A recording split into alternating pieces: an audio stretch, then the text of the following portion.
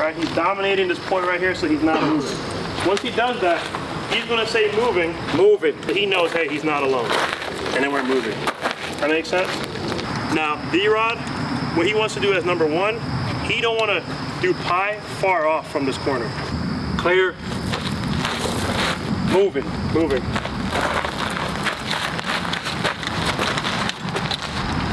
So some principles, do's or don'ts. Do I want to lean on the wall? No. No. What's the distance off the wall? About 24 inches. Do I want to see? Stagger. Stagger, right? Just like on tag, you stay staggered. So later in the afternoon, you guys are gonna have scenarios uh, where you enter a friendly village, right? We don't want to be in the center, right? Imagine how many buildings we'd have to worry about if we choose a stronghold in the center. We choose one over here. What we're doing here, right? We're all assuming some sort of risk. Some there's nothing safe about it, okay? Um, but what we're teaching you here at Urban is if you take contact in a village, urban environment, is how to get off the X quickly and as safely as possible.